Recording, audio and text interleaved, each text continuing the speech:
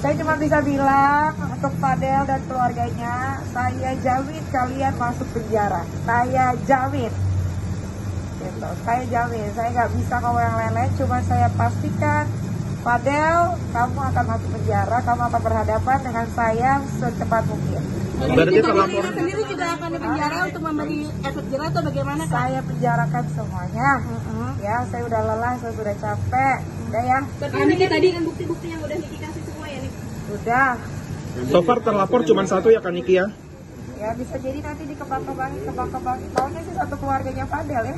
Dengan keluarga A- kepul- apa namanya kaburnya Fadel malam ini seperti apa kak Niki tadi? Ya kalau tadi dengar dia di toko cukup nantangin tiba-tiba ditemuin nggak datang-datang tiba-tiba kabur sih ya nggak kayak tukang pukul ya dia kan kalau nggak salah habis keluar dari penjara juga ternyata Fadel ini dua hari yang lalu baru bebas dari penjara ternyata karena dia sempat mukulin orang lagi di Polre- polsek Pesanggerahan. Jadi tanya aja sama polsek Pesanggerahan.